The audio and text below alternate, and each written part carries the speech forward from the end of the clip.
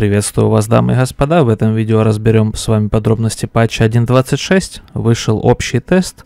Подробностей стало больше. Сейчас я вам все расскажу. Во-первых, опять покажу вам праздничный ангар к 9 мая. Я уже вам показывал. Вот он весь такой красивый. Следующее, что нас ждет в патче 1.26, это режим «Время героев». Это режим кооперативный против ботов на новых измененных картах. В этом режиме нужно будет побеждать ботов, заполнять прогрессию, получать награды. Вот, кстати, все награды, которые можно будет получить в этом режиме. На восьмом этапе можно бесплатно получить советский прем-танк седьмого уровня Т-34М54. Странно, что это не финальная, не последняя награда, поскольку этапов всего 10. А вот главная награда на десятом этапе Нашивка победитель. Если вы не успеете пройти прогрессию и получить Т-34М54, то можно будет задонатить на машину со скидкой 25% за каждые два закрытых этапа. Но я так смотрю на параметры этого танчика и на седьмом уровне альфа 180 особо как-то не внушает. Пробитие 171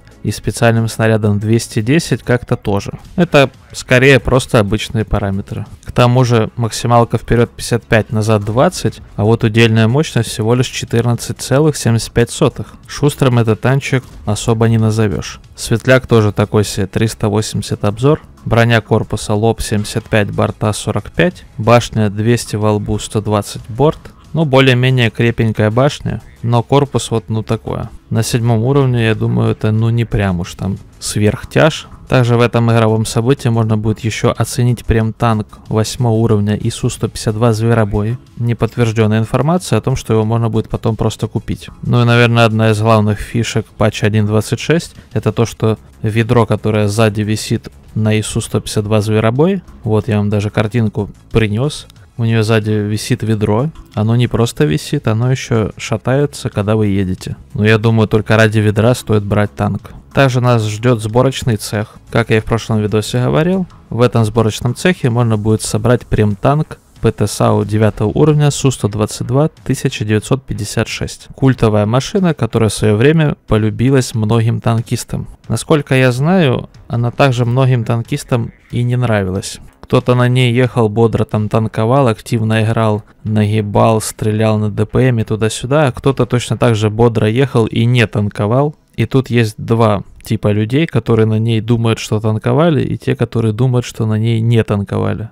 Все как обычно, выполняем задания, за них дают жетоны, за жетоны собирается танчик. Дособираем танчик до конца, получим его себе на аккаунт. В принципе, все, как обычно. Также нас ждут еще ранговые бои на седьмом уровне. Разработчики не прекращают извращаться с ранговыми боями. Теперь в наградах там помимо инструкции есть еще фиолетовое сведение. Я думаю, что эти ранговые бои не особо будут популярными, поскольку это фиолетовое оборудование мало кому будет интересно. Если бы его можно было продавать за боны и потом за эти боны брать то, что тебе надо. Также нас еще ждет Стальной Охотник Возрождение. Там есть какие-то ключевые отличия по сравнению с предыдущим запуском. Я, честно говоря, думал, изменения будут более масштабные, но, возможно, если поиграть, там реально что-то сильно изменилось. Но в общем и целом, там по-прежнему будет возрождение. Если вы играете соло, у вас первые 5 минут боя можно будет возрождаться. У вас будет доступно одно возрождение. Если оно закончилось, можно будет его подобрать из лута. Если вы играете во взводе, то у вас 7 минут на возрождение и на взвод 2 возрождения. То есть, может быть, это возрождение даже понадобится одному члену взвода. Возрождаться можно, если ваш совзводный не участвует 10 секунд в сражении. Также и тут есть еще балансные правки в этом стальном охотнике. Разница между прокачанным танком и не прокачанным будет меньше, поэтому если вы на пятом уровне встретитесь с танком седьмого уровня, вам будет легче против него играть. Честно говоря, это, наверное, больше всего меня бесит в Стальном Охотнике. Могут так сложиться обстоятельства, что в Стальном Охотнике ты можешь прокачаться случайно очень быстро или случайно очень медленно, поскольку там все хаотично, все во все стороны ездят там как короче, хаос какой-то. И может произойти все, что угодно. Иногда ты упарываешься случайно в челика, у которого прокачанный танк, и ты просто сразу тут же умираешь, практически мгновенно ничего не можешь сделать. Это напрягало, Посмотрим, насколько эта ситуация справится и не вылезут ли какие-то новые косяки. В общем, в целом посмотрим. Также еще понерфили Арлекина, поскольку, я думаю, надо было это сделать целый год. На нем в основном все и катались.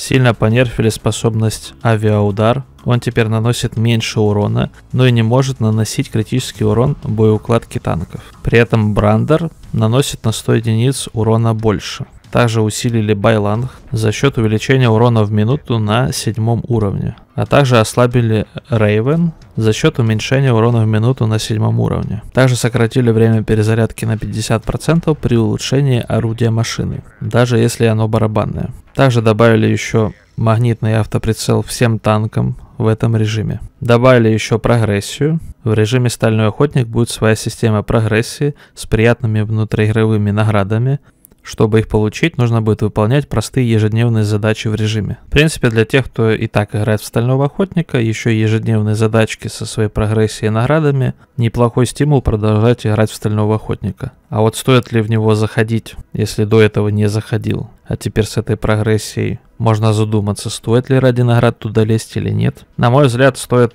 играть, если тебе нравится режим. Прям ради наград лезть туда через силу не стоит. Также в патче 1.26 нас ждет ребаланс веток. Ветка немецких тяжей Panzerkampfwagen 7. Его мы подробно уже разбирали, этот ребаланс. Также апнут Пантеру 8.8, FV 4202, Chieftain T95, также американский T95E2. Недавно этот прем-танк можно было получить, при том, что он изначально вообще не был прем-танком. Также еще французский прем-танк AMX M4 mle. 49. Ветку 50Б апнут. Также ветку AMX 50 Foch B и акционный AMX 50 Foch 155. Все эти танки премиумные и ветки апнут. Подробно я уже разбирал этот ап два раза. Я думаю, третий раз разбирать не стоит. Также балансные правки по карте Сталинград. Все-таки они назвали это балансными правками. Поубирали кучу ежей мусора, пораздвигали там различные проезды, домики. Сделали карту почище и поменяли освещение на более мрачное.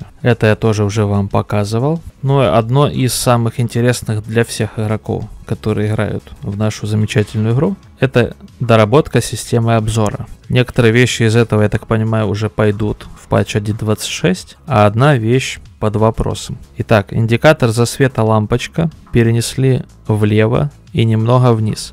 Ключевое отличие, теперь лампочка всегда видна игроку, если он находится в засвете. Честно говоря, я не понял. То есть они просто увеличили время работы лампочки? Или она прям работает, когда ты светишься? Поскольку написано так, как будто бы она работает, пока ты светишься. Но это очень ключевое изменение, которое может очень сильно повлиять на игру, и с этим нужно поиграть, переосмыслить игру что да как. Оно очень маленькое, это изменение, но оно очень сильно влияет на каждый игровой момент.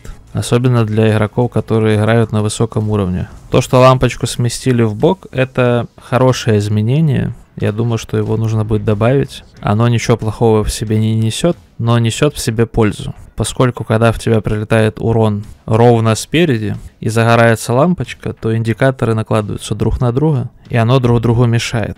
Поэтому лампочка сбоку это хорошо, поскольку чаще всего мы смотрим ровно на то место, откуда прилетает урон. А лампочка сбоку чаще будет видна, чем по центру. Удивительно, что спустя столько лет мы видим такое простое и нужное изменение. Буквально недавно был случай, когда прям посередине лампочка мне перекрыла индикатор урона, и я там сидел камерой вертел, чтобы увидеть и то, и другое одновременно. Поэтому можете смеяться или нет про танкистов, которым такое изменение надо, но это изменение реально надо. По поводу того, что лампочка типа работает дольше, там секунд 10, в принципе уже и без мода, который продлевает время работы лампочки, я примерно понимаю, что я уже отсветился или я еще свечусь. Часто понимаю, что я свечусь еще до того, как загорелась лампочка. Это, в принципе, мне не сильно интересно. Интересно посмотреть, реально ли лампочка светится всегда, когда я в засвете. Выход из засвета сопровождается звуковым сигналом, можно изменить в настройках. Также можно самостоятельно настроить размер индикатора и его прозрачность. Это тоже неплохие изменения. Когда больше настроек, можно под себя что-то там подкрутить. Раком, я думаю, не поможет какой-то там звуковой сигнал.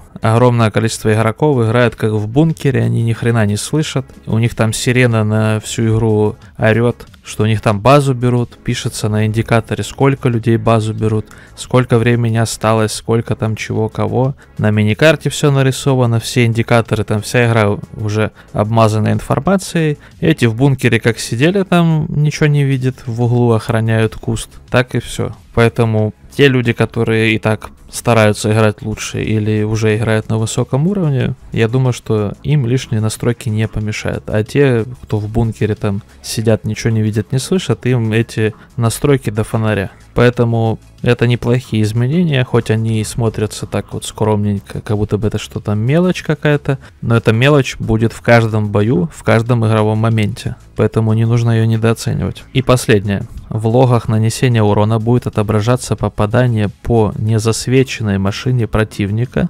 актуально только в рамках общего теста обновления 1.26. Вот это изменение как будто бы разработчики просто проверяют, стоит ли вообще такое делать или нет. Я каждый раз после боя на кофейной гуще сижу там разгадываю кроссфорд, в кого я попал и насколько. Поскольку блайндами стреляю часто, хотелось бы сразу видеть, в кого я попал без света. Не знаю, что плохого может принести это изменение, если это как-то может испортить игру в плане каких-то там модов запрещенных или еще чего-то, тогда не надо. Тогда я лучше дальше буду разгадывать. Я просто не знаю, чего плохого в этом может быть, но если что-то может быть, тогда не надо. Но мне хотелось бы сразу видеть, что вот этого я за светом пробил, этого без и так далее. Поскольку этим занимаешься чуть ли не после каждого боя. Очередная доработка камеры Штурм САУ. Опять ей убирают барабан, делают ее цикличной. Я уже не помню, какой год эту Штурм САУ ковыряют. Очень сильно сомневаюсь, что это вообще игре нужно. Скорее, мне кажется, это вообще что-то противоположное. Но это лично мое мнение. Также кастомизация. Новые элементы кастомизации в патче 1.26. 2D стили. Красный май. Принципе, прикольный такой стиль. В красных тонах какие-то там шестереночки, дым, завод. В общем, полным ходом идет работа на заводе какая-то. Крымский рассвет. Похоже, камуфляж был только в белых тонах. Мимолетное видение. Это у нас 2D стиль про Пушкина. Салют Победы к 9 мая праздничный с ленточками, с салютами. И также три камуфляжа 3 2D стиля, которые у нас про стального охотника. Ферохром, феротитан и феробор. Ну а также еще декали, эмблемы и надписи к будущему игровому событию. Также боевые задачи на общем тесте, в которых можно будет получить один день прем-аккаунта, 100 бон и 5 личных резервов на кредиты. Это все награды, которые пойдут к вам на основной аккаунт. Только странно, что тут написано про задание линии фронта. Ограничение выполнения этих заданий, линия фронта, техника 9 уровня один раз на аккаунт. Но где тут линия фронта в патче 1.26, я не понял. Вот я и закончил со всеми новинками патча 1.26. Пишите свое мнение в комментариях. С вами был Варчик. Играйте красиво. Подписывайтесь, ставьте лайки. Всем удачи и пока.